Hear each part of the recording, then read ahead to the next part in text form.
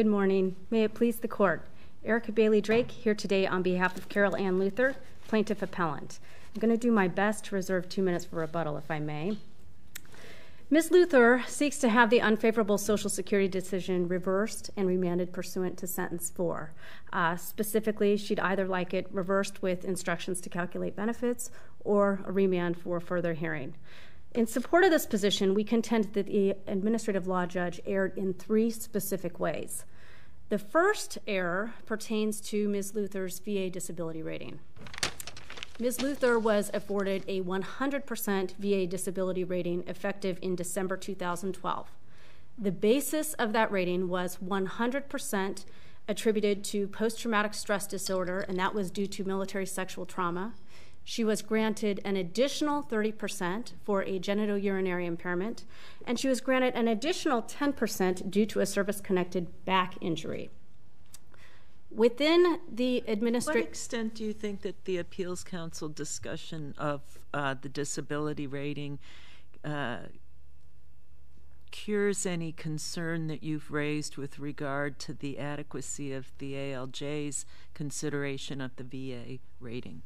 It's our contention that the Appeals Council's refutation of the rating actually has no merit here and really no place here because unfortunately because the appeals council denial states it denied the request for review it did not accept jurisdiction which effectively makes that decision unreviewable and that's pursuant to 20 cfr 404.981 uh, in addition what the appeals council said was also insufficient to really evaluate the VA rating because, as, as I indicated, the VA rating has three major components not only the PTSD due to military sexual trauma, but also the genitourinary impairment. And that's an impairment that the ALJ entirely missed. She was aware of it because at the time of the hearing, prior administrative counsel told the ALJ that in fact there was this VA rating. It was 100% PTSD, 30% genitourinary, and 10% back impairment. But on the record, the ALJ said VA 100% VA disability rating has no bearing. It's something we consider. So it's apparent from the record that unfortunately the ALJ didn't really understand the legal standard for evaluating VA disability ratings in the Social Security context. Didn't he also, or he or she, I don't know which, say um, verbally, though not in his um, opinion, something to the effect of it really doesn't matter what the VA said. That's exactly what she. Right. That's that was exactly the sentiment that was on the record. Again, I wasn't there, so I don't really know. The I I can only glean the context from the transcript, but the takeaway is she did not understand what the purpose of the VA disability rating is in the Social Security context, and in fact, that the legal standard is Ordinarily, an ALJ must grant that VA rating great weight unless persuasive, specific, valid reasons that are supported by the record are given. So you want this to go back to the back to the ALJ to reevaluate Dr. Flynn's evaluation? Effectively, because Dr. Flynn's medical source statement was incorporated into a hypothetical to the vocational expert. It's not necessary. Do we have do we have the full records from the VA? Is this is this everything we've got? Is yes. Dr. is Dr. Flynn's evaluation? Is that the basis for the hundred percent disability finding? Is doc, is Dr. Flynn's check the box? No, no. The basis of, of the VA disability rating yeah. is in the file. It's at Exhibit 12D of the Administrative Law Judge's decision, uh, and within that document, it specifies exactly what the VA considered in arriving at the VA rating decision. Wasn't in, there some additional paperwork that came before the appeals council that yes. was not before the ALJ? Yes. You're missing like three pages, right? Three, eh, precisely. Three pages were missing. However, the part of the of the rating that specified exactly what the VA considered in arriving at its conclusions was there. Basically, the evidentiary list, their exhibit list. Uh, my, so my question is, is is if we send this back to the ALJ, we don't really have anything else to, to put before the ALJ. I mean, we can tell them that they're wrong. Correct. Uh, but we don't have any additional information that's going to expound on what Dr. Flynn saw. No, no, you don't, because in addition, there is the report from Ms. Shapiro Ms. Shapiro was the licensed uh, social right. worker right. who was treating so, Ms. Luther. But Dr. Flynn, was he at the VA? Yes. And he not only works at one VA, he's actually the treating psychiatrist for veterans suffering from PTSD all over the state. You can kind of glean that from his letterhead. But oh, oh in I'm other sorry. words, the VA people, I, I, I don't know this, but possibly, the VA people who made the decision had some particular reason to be relying on him, which he was a person they presumably dealt with Absolutely. regularly, right? Absolutely. And So, in terms of evaluating his opinion, they were in a better position to do it than this ALJ. I probably never heard of him before. Certainly. And, and, certainly the VA is going to be in a much better position to evaluate military sexual trauma and the impact that that's going to have on functional limitations in the workplace than an ALJ who did not even reference the fact that the PTSD was due to military sexual trauma. In evaluating Dr. Flynn's opinions, unfortunately, the administrative law judge did not note the fact that he was highly specialized, did not acknowledge how many times Dr. Flynn had actually treated Ms. Luther. How many times had he treated her? That is somewhat up for debate. The, well, how, well, how could the ALJ deal with this if it's still somewhat up for debate? It's somewhat up for debate because on the medical source statement, you, you may see on the first page, it says uh, treated her for 18 months, and it's hard to tell if it says two visits or 20 visits. Mm-hmm. Presumably, it's 20 because even if he didn't treat her, 20 times. He probably reviewed the records from Ms. Shapiro because the two of them were acting in conjunction to treat Ms. Luther. But there's no 20 pages of records. Right. But but even if he had only treated her two times because of his specialization, because of the fact that he is more highly skilled in dealing with veterans and also their psychiatric needs, he should have been given deference. He should have been given weight as a treating but physician. What do, we, what do we do with Dr. Goodman's report? Dr. Goodman's report appears to be the most comprehensive evaluation um, of her. And at page 370 of the record, that's page 21 of Dr. Goodman's report, he acknowledges the uh, the psychiatrist, the Veterans Administration has diagnosed her with a post traumatic tr- stress disorder due to this assault. I believe this has allowed Ms. Luther to receive psychotherapy through the Veterans Administration. Then, two paragraphs later, he says Miss Luther is currently temporary partially disabled psychiatrically. She is barely in this category. Now, I'm not sure what barely in this category means. Is she just barely temporarily disabled? Or is, or is she on the verge of being permanently disabled? That is, that she's about to move Right. out of out of partially disabled into permanently disabled. Right. And and I think part part of the problem with Dr. Goodman's evaluation is he was evaluating her for a workers' comp claim. She had after she had left left the service, she had worked for a law firm, and while she was working at that law firm, she was subjected to pretty horrific abuse. And so that was the basis of the workers' compensation claim. So Dr. Goodman may have been struggling with how much of the disability do I attribute to her childhood abuse, her veteran abuse, and also to this workers' compensation abuse. Right, but all he has to do is just get to is just get to the point of saying PTSD, whatever the source is, whether it's attributable to the VA service or not. Well, that might have been the restriction on Dr. Flynn, but it's certainly not a restriction on Dr. Goodman. No. And he, he says she's in need of psychological and psychiatric treatment to reach maximum medical improvement. So I, it's it, here. I mean, the the most discerning review we have in the record is Dr. Goodman, and he doesn't seem to be willing to give full deference to the VA's findings on this. He seems somewhat skeptical of this.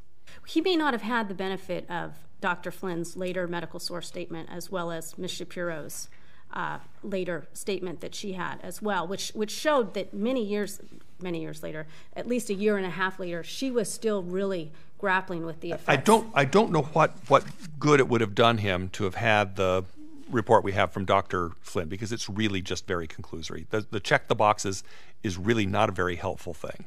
Although Dr. Dr. Flynn does say he does make some comments on the medical source statement, and also the records underlying his initial visit with Ms. Luther were within the were within the A administrative year and a half early. Yes, Yeah, right. yes. And at that time, he noted that during the interview with her, she was disso- dissociating when she was discussed the traumatic events that she had witnessed. So, you know, one thing that we can say about each of the psychiatric or psychological medical opinions that are within this file, they all intersect someplace.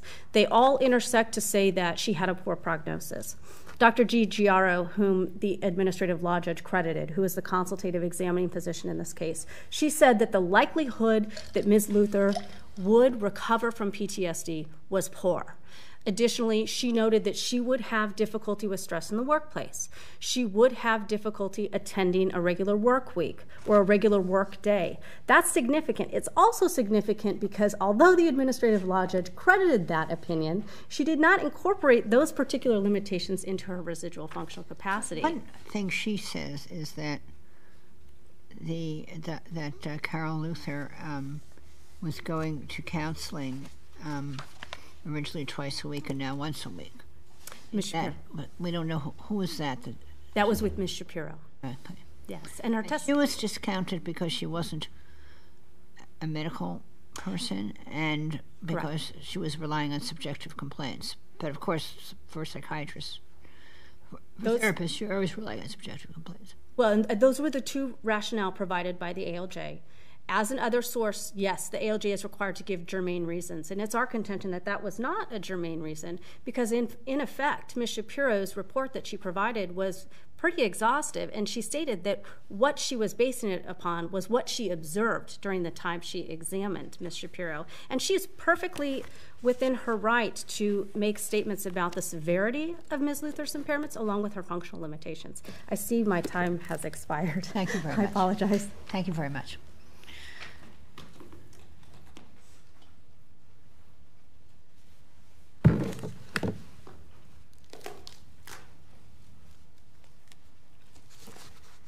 Morning, Your Honors. May it please the Court. My name is Tina Niker. I'm appearing on behalf of the Acting Commissioner of Social Security, um, Nancy A. Berryhill. Um, I wanted to address uh, claimant's ar- claimant or appellant's argument. Sorry, I can't hear you. I'm sorry. Well, Could, could you speak into the um, mic? I wanted to address uh, claimant's or appellant's arguments regarding the VA rating. Um, we believe that the ALJ properly considered the VA rating in its decision. Uh, the ALJ referenced it on page 26, noting that it Well, was he, know, he noted its existence, but he didn't do anything. He didn't explain why he was disagreeing with it. Well, if you, if you look at the, the substance of the decision, and the standard of review here is whether the ALJ's decision is based upon substantial evidence. And the, the ALJ's decision is replete with uh, references to the VA records. Uh, We know the ALJ gave great weight or started from that presumption and then decided not to. Do we just have to infer that?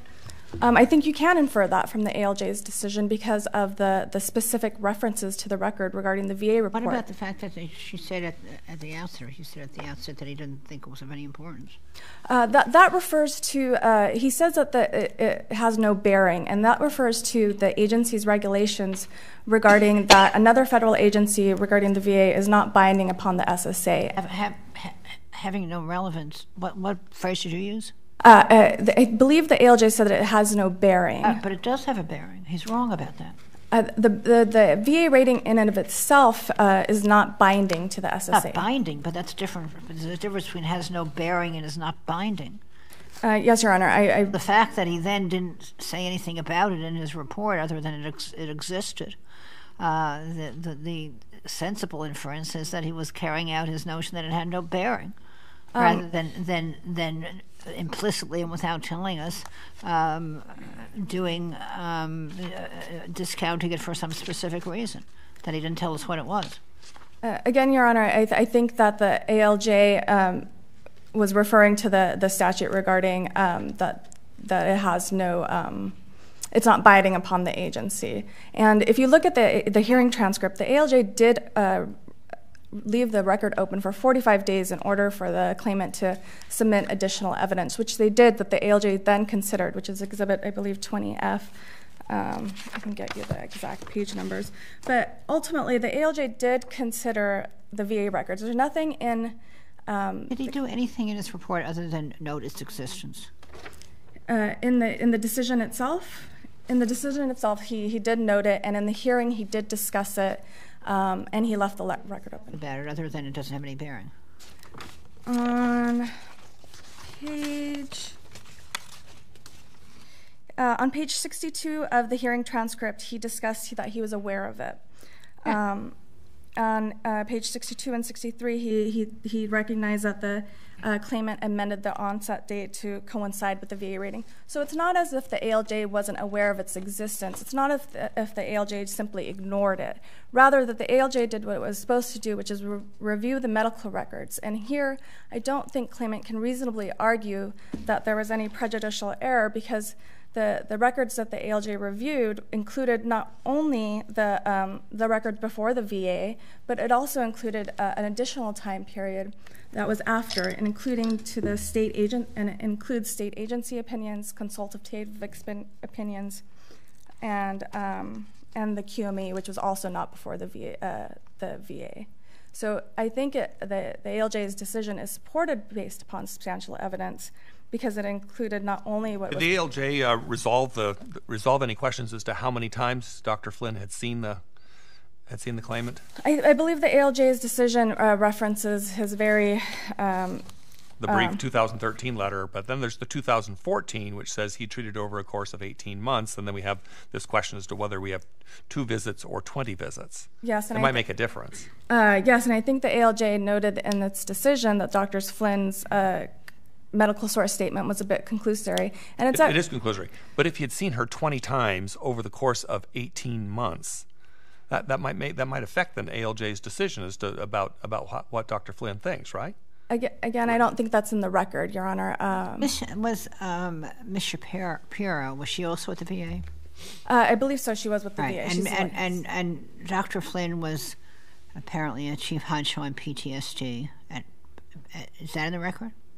I'm sorry. The In the record, what his role was at um, the VA? yes, uh, Dr. Flynn was with the VA. All right. So whether or not he saw her 20 times, she we know that she was seen by the VA therapists weekly or biweekly. Uh, it, it- looked like it, she was seen uh, biweekly for for a moment, and then All right. oh, so I'm sorry, Dr. Flynn. I, I mean, this may be surmise, but it appears to me uh, likely that he had he, he knew, or I don't know if he had any role supervising, but he, he knew that she'd been seen at the VA regularly for quite a while. Correct, but there isn't any state, there isn't any treatment records that would actually support Dr. Flynn's statements, and and the treatment records that we do have. What I'm asking is, does it have to be his treatment records, or could it be the VA's treatment records in general, including Mr. Bureau? Again, if, if you look at the VA uh, treatment records, there's nothing in those treatment records that I would assume that would uh, support Dr. Flynn's conclusory not, statements. Not Ms. Shapiro's letter. That doesn't support. uh, no, Ms. Shapiro's uh, statements were highly sub, highly Of course, adopted. they are subjective because any psychiatric evaluation. This is if somebody has if she's met with this person um, for uh, every two weeks for uh, uh, I don't know for how long a year or two I don't know how long. um, it appears uh, since 2010 is what. All right, what so a really long time. Um, and if you if you're going to discount um, a therapist's opinions for being based on the subjective self-reporting, then none of them are worth anything ever. I think you have to look at, uh, well, under the agency's regulations, you not, not only have to look at the subjective reporting, but you have to also look at the medical records and the treatment records to uh, corroborate those types of symptoms.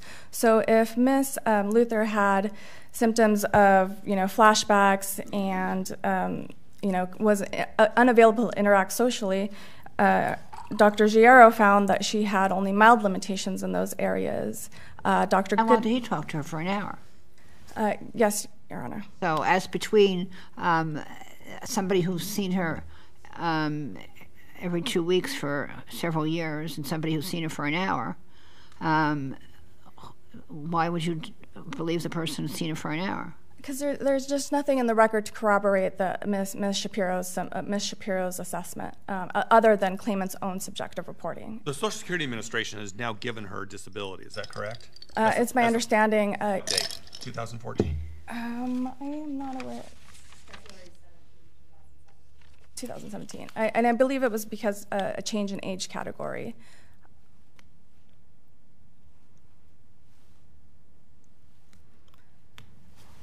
Ultimately, um, we believe that the VA rating it was Excuse me, let me go on about uh, Ms. Shapiro.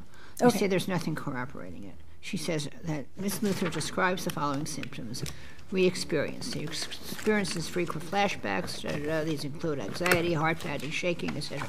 These symptoms have been exhibited during her individual counseling sessions. So she says, I saw it. Um, uh, that's what she says in this letter, Your Honor, but I, I don't see anything in the actual VA records that support that. Uh, claimant has not even identified those records, uh, so it's unclear where she's getting these uh, statements from. But again, this is somebody who's seen her um, every two weeks for years, and they did believe a person who saw her for one hour.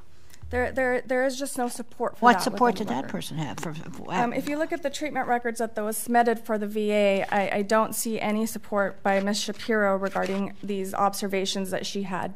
She said that she saw, um, and that's what the v, that's what the ALJ is relying upon. Uh, these conclusory statements are not supported by the record, and um, in addition, uh, that she is another source and not, you know, it's unclear where uh, where that where she saw Miss Luther uh, with these types of symptoms, or when, Your Honor. It's, it's very unclear as to the timing as well. and therefore, you just believe her. But you believe somebody who's seen her for an hour.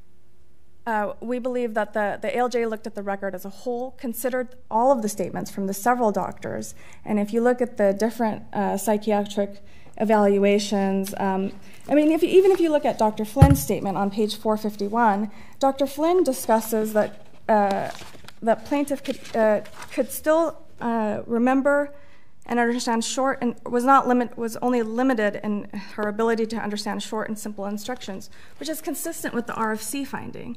So even if you look at Dr. Flynn's statement, which is very conclusory and not supported by the record, at at most, you could still find that the ALJ's decision was supported by substantial evidence um, with respect to the PTSD and the, the RFC for simple and routine work. Okay, thank you. Your time Thank is you. up.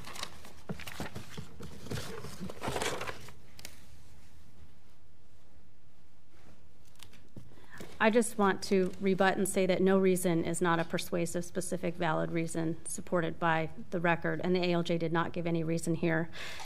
Additionally, uh, under the Garrison criteria, we believe that any of the three sources of error, if the insufficiently credited evidence were credited, Ms. Luther would be entitled to a finding of disability. There can be no serious doubts that she's disabled. Two separate federal agencies have now found her disabled, both the VA as well as Social Security Administration.